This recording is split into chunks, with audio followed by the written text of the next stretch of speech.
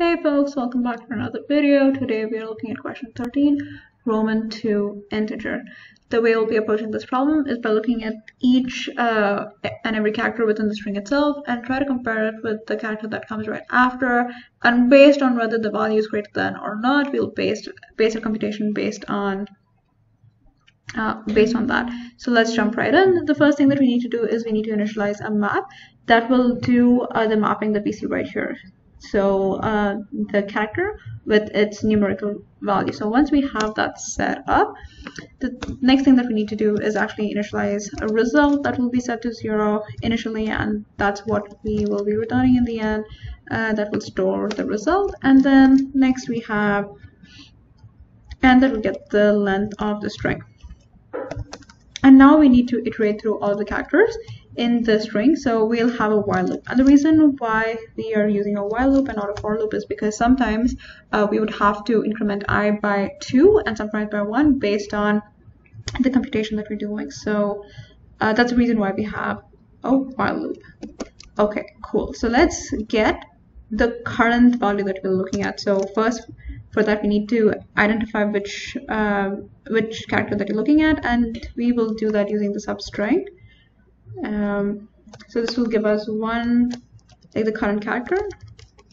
And then what is the current value? So we get the character but what value does it map to? So the way we get that is by just pulling that value map.get current. And let's just initialize um, next value and let's just set it to zero for now and we will see why we're doing that.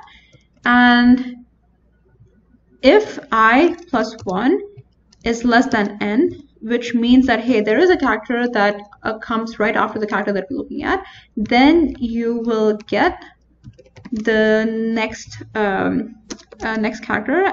And the reason why we are doing that is because if a character occurs after a particular character and it's greater than, we would have to subtract uh, those two values to add that to the sum. So it's 1, uh, i plus 2 right and then the next val would be equal to map.get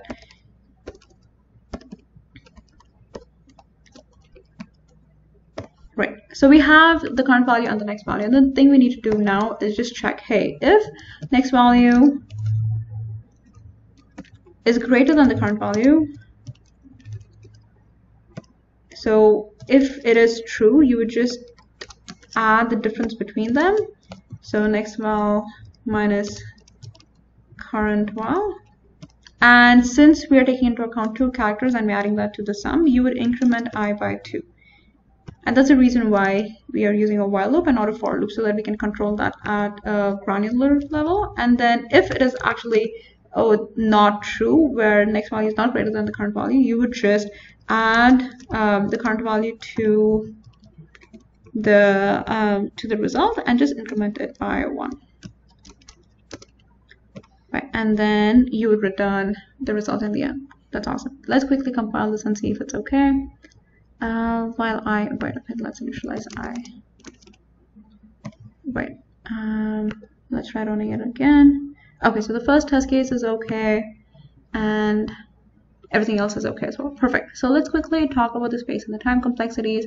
Um, the time complexity would be of n since we're uh, going through all of um, the characters in the string and the space complexity would be of 1. Even though we're using a map, it's not incrementally growing. Um, the size would stay constant and that's the reason why we have the space complexity to be 1. Uh, awesome. So that's the solution to this problem. If there are any questions, please let me know in the comments below. And please, please don't forget to subscribe. I would really appreciate that. And if there are any other problems that you want me to solve on LeetCode, also please let me know in the comments below. I would be more than happy to solve them for you. See you all in the next video. Peace.